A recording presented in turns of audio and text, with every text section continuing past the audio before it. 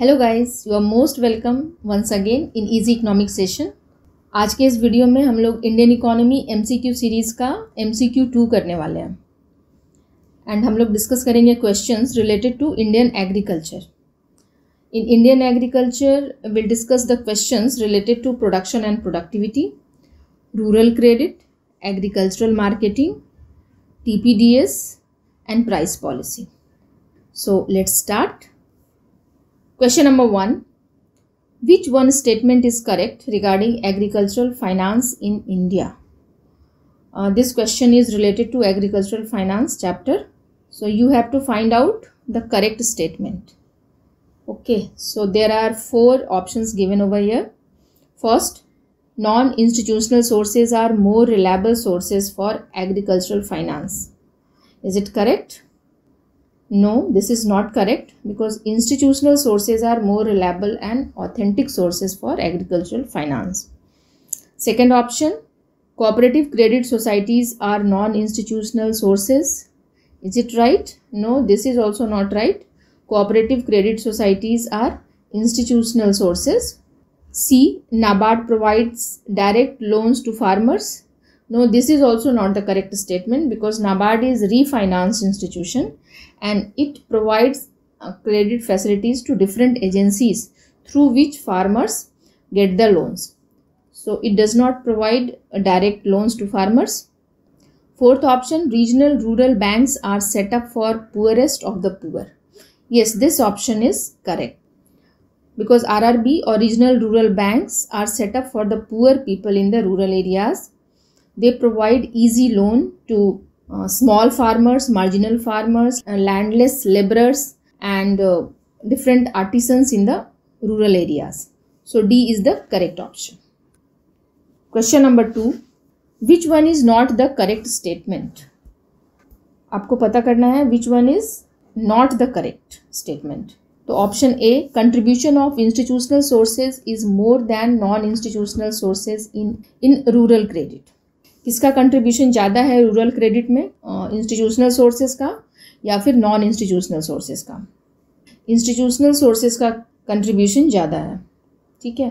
So A is the correct statement B cooperative credit societies work at three levels yes this statement is also correct because cooperative credit societies work at village level district level and state level so second option is correct statement C. Commercial banks provide direct as well as indirect finance. Yes, this is also the correct statement. D. NABARD was set up in 1990. No, this is incorrect statement.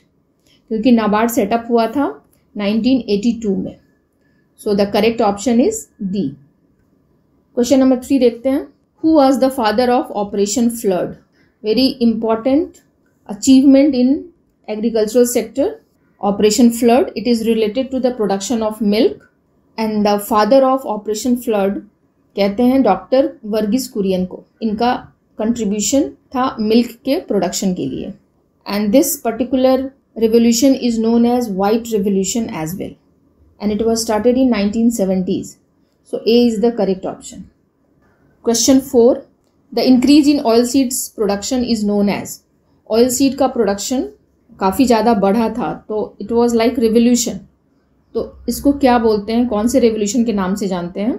It is known as yellow revolution so C is the correct option question number five who is the father of green revolution in India very important significant revolution in Indian agriculture green revolution everyone must be aware of this term green revolution तो who is responsible for this green revolution in India किसका contribution था main तो correct option is M S Swaminathan because of this revolution food grains the production of wheat and rice increased fold so D is the correct option question number six which of the following is a commercial crop in India commercial crop कौन सा है? इसमें से आपको बताना है.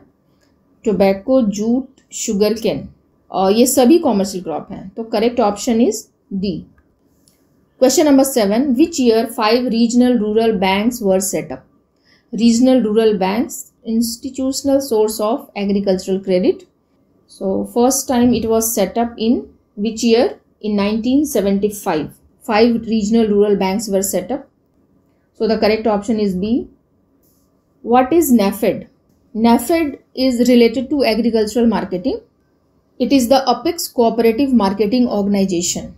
Deals with procurement, distribution, export and import of selected commodities. So C is the correct option. And NAFED stands for National Agricultural Cooperative Marketing Federation of India Limited. It is playing a very important role in agricultural marketing. Question number 9. Agricultural market faces the problem of कौन सा problem है agriculture market का India में। Option A, low prices when crop fails no this is not the correct option B high prices when there is bumper crop no ये भी सही नहीं है। C seasonal price fluctuation yes C is the correct option seasonal price fluctuation बहुत ज़्यादा होता है India में एग्रीकल्चरल प्रोडक्ट का। तो C is the correct option question number ten regulated market aims at protecting Regulated market is one of the important steps taken by the government to solve the problem of agricultural marketing. So, regulated market protects consumers as well as farmers. So D is the correct option. Question number 11. Agmark ensures. Agmark एक seal है. Agmark denotes agricultural marketing and this seal denotes the quality and standard of the agricultural item. So so, अगर ये seal लगा हुआ है agricultural product में तो that product is considered quality product and standard product so correct option is D A and B both are the correct option question number twelve which act was passed in two thousand three to bring reform in agricultural marketing बहुत important act था। Two thousand three में pass हुआ था ये। To solve the problem of agricultural marketing this act is known as APMC Act.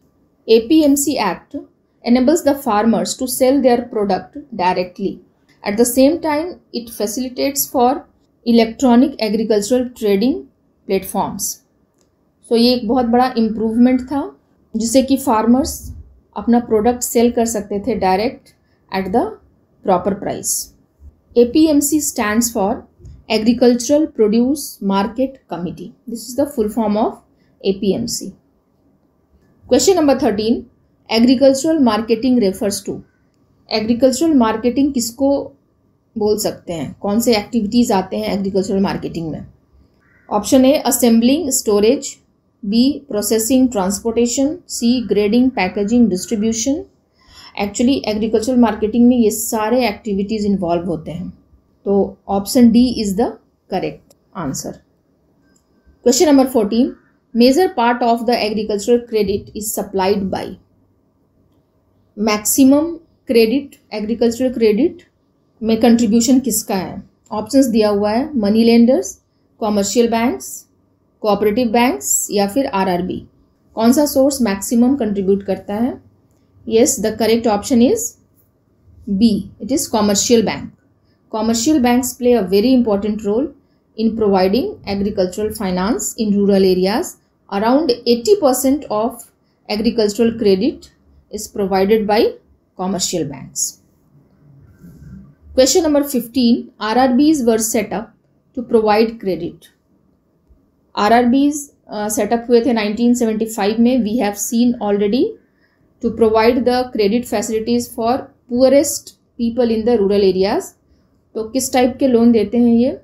Only to non agricultural activities in rural areas B only to agricultural activities in rural areas both agricultural and non agricultural activities yes C is the correct option R R Bs provide loans for agricultural as well as non agricultural activities so C is the correct option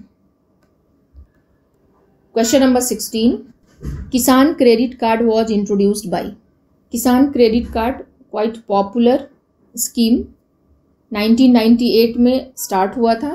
किसने introduce किया था? कौन सी agency ने? It was started by NABARD option C is the correct answer question number seventeen non institutional credit very often leads to यहाँ पे आपको पता करना है कि नॉन इंस्टीट्यूशनल क्रेडिट के बारे में ये क्या सच है।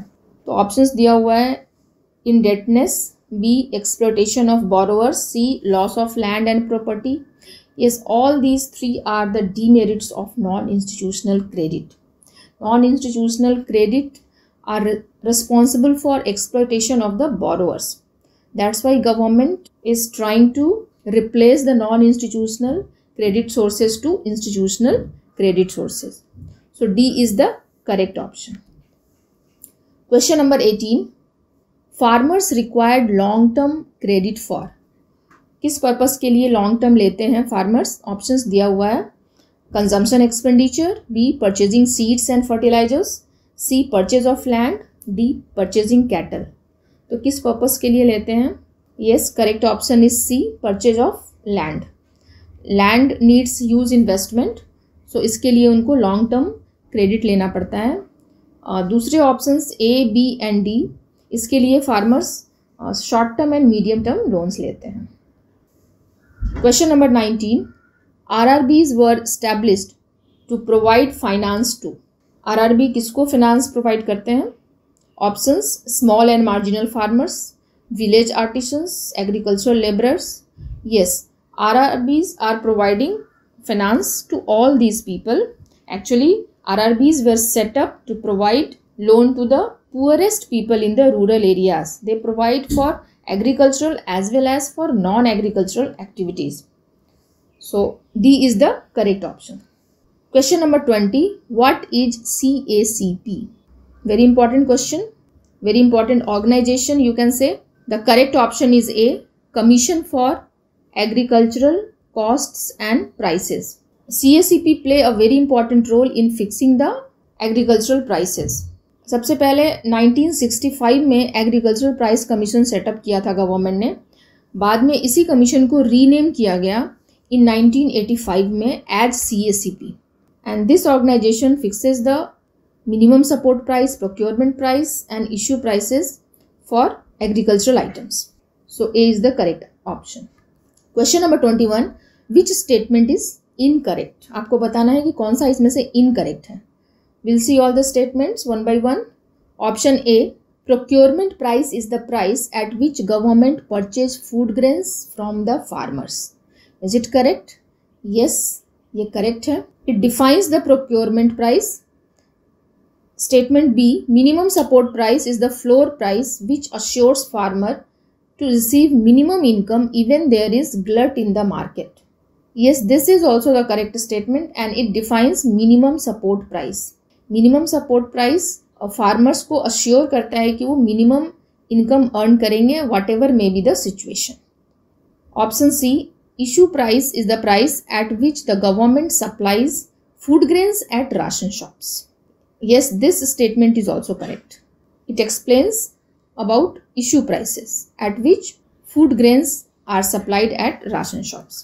तो इसमें से ये तीनों ही ऑप्शंस आपके करेक्ट हैं करेक्ट स्टेटमेंट है एंड बहुत इंपॉर्टेंट क्वेश्चन है ये क्योंकि ये एक क्वेश्चन में आपको procurement price minimum support price and issue price ये तीनों के बारे में आपको जानकारी मिल जाती है। तो ये एक इंपॉर्टेंट क्वेश्चन है। Question number twenty two which year the F C I was established FCI, a very important organization. It is known as Food Corporation of India and it helps in uh, making the buffer stock of food grains. So, कभी setup हुआ था ये was set up in 1965. Question number 23. Which year targeted public distribution system was launched? It is also known as in short TPDS. तो TPDS कभी launch हुआ था TPDS launch हुआ था 1997 में Actually, this TPDS is the modification of the previous program that was PDS, Public Distribution System. And it is targeted towards poor now and that's why it is known as Targeted Public Distribution System. 24, question number 24. Which one is not the feature of Targeted Public Distribution System? कौन सा इसमें से TPDS का feature नहीं है option A targeted for poor yes it is targeted for poor b center state control yes tpds program conducted uh, with the help of central as well as state government दोनों का control होता है उसमें तो second option is also correct c only central control no C option is incorrect क्योंकि इसमें दोनों का ही कंट्रोल होता है central government and state government question number twenty five when was the Antyodaya Anna Yojana launched quite popular program to eliminate poverty in India. It is a government sponsored scheme. It provides highly subsidized food to millions of poorest families. And it was launched on 25th December 2000. Antyodaya Anni Yojana was launched in 25th December 2000 and first time it was implemented in Rajasthan. So the correct option is C December 2000. So guys, in today's video we discussed 25 questions related to Indian agriculture. I hope कि आपको इसका benefit मिलेगा आप लोग इसको revise कीजिए बार बार try to solve the question and उसके बाद आप करेक्ट ऑप्शन से इसको चेक कीजिए और इस तरीके से आपका एग्रीकल्चर चैप्टर से रिलेटेड सारे क्वेश्चंस क्लियर हो जाएँगे thank you very much have a nice day